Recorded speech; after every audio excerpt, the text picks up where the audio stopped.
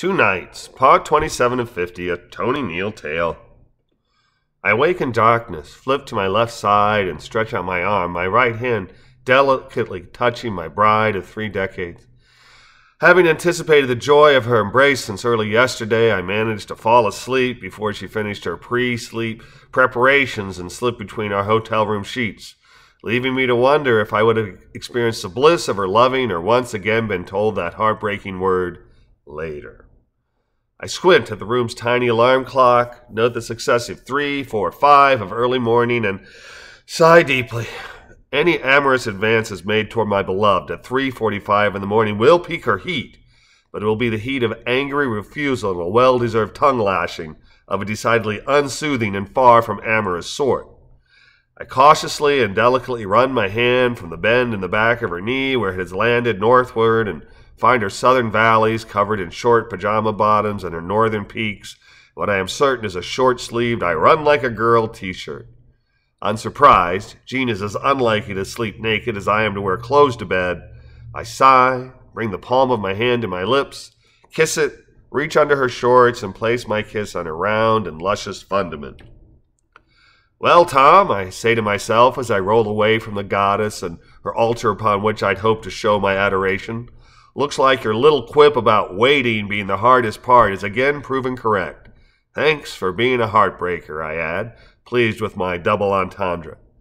Naked, I gently place a pillow over her head to shield her from stray sight or sound, and tiptoe to the bathroom where I close the door before turning on the light. Relieving myself, washing my hands, and shaving, I again do a courtesy swipe of my teeth to freshen my breath before I slip out of the bathroom, light on, and pull the door behind me, leaving a narrow crack of light to pour through in our room. I slip into clothes I wore the day before, grab my laptop and the room key, and after tiptoeing back to my slumbering goddess, remove the previously placed pillow and pecking her cheek, turn off the bathroom light before gently closing the door on number 314. In the hall, I ensure that the door is locked and turn right before heading to the stairwell, where I also close the door cautiously, lest I disturb my fellow Hampton Indians, who likely feel that awakening at 4.04 on a Sunday morning was a tad early.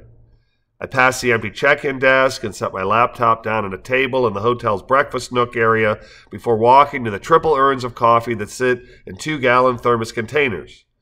I mute the television with the remote before grabbing a paper to go cup, the heavy, top porcelain ones being safely nestled behind the smorgasbord area's locked doors. I pour a scant two ounces of coffee into my cup, smell, sk- sip, and scowl.